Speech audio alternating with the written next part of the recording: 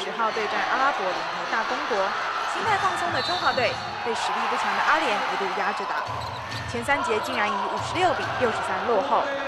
第四节才回过神的中华队，靠着板凳射手陈顺祥单节三颗三分球，帮助中华队惊险逆转胜。中场的时候，其实三哥跟老魏教练其实对我们比较严厉的斥责。其实后来我们在第三、第四节，我们的心态就是有比较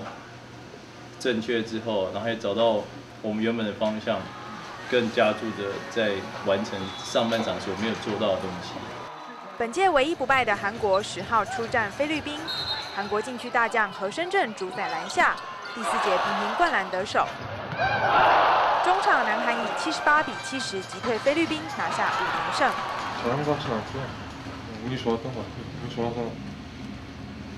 평상시보다저한테공이좀더들어와서그런찬스가많이있었던것같아요못넣어도그냥넣으면못넣는게당연한거고